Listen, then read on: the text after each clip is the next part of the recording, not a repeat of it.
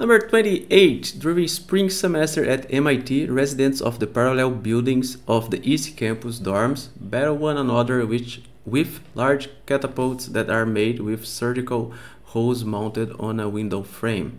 A balloon filled with dyed water is placed in a pouch attached to the hose, which is then stretched through the width of the room.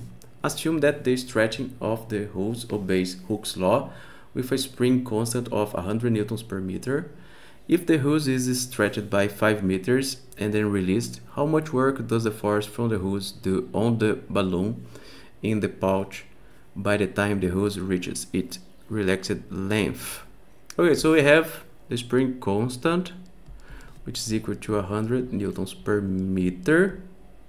And all we have to do is to apply the equation of the work done by the spring, which is equal to 1 over 2 k the initial position squared minus 1 over 2 k the final sorry the final position squared.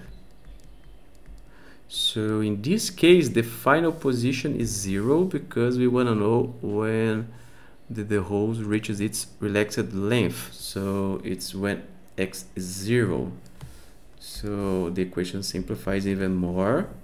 So this is equal to 1 over 2 k which is 100 times the initial position which is 5 squared. And this gives us 1250 joules. And that's it for this problem